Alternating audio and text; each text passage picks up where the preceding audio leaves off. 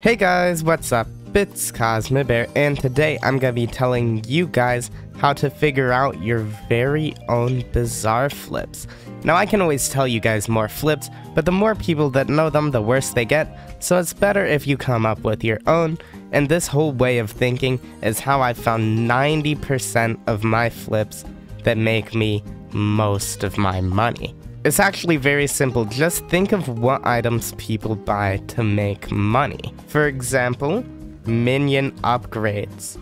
Let's say that I'm upgrading up my minion. I need super compactors. You can probably craft these up and make good margins on them.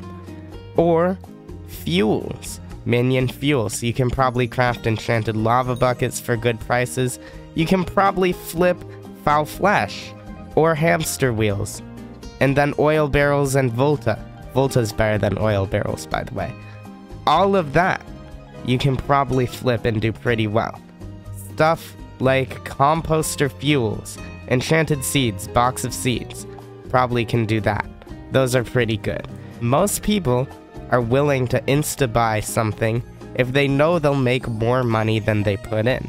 So what you do is you buy order and sell offer and take the profit. In my opinion, fuel type things that you just sit in your minion or the forge or your composter are best, but really, whatever works.